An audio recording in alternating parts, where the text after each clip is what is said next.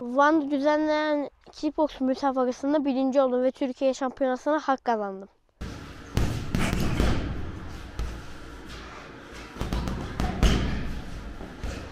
Benim en büyük idolüm Muhammed Ali. Türkiye müsabakasına çalışıyorum. Yüksek takımlarda baş kalede koşu, e, spor, e, gölge boksu gibi antrenmanlar yapıyorum. Hedefim Türkiye şampiyonu olarak Avrupa, Tayland gibi yerlerde birinci olmak.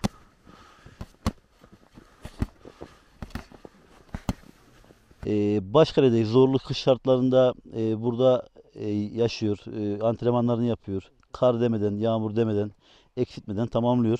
Şu anda Van il birincisi oldu. 47 kilogramda. Ee, Türkiye şampiyonasına hak kazandı. İnşallah onunla alakalı da antrenmanlarını sıklaştırdık.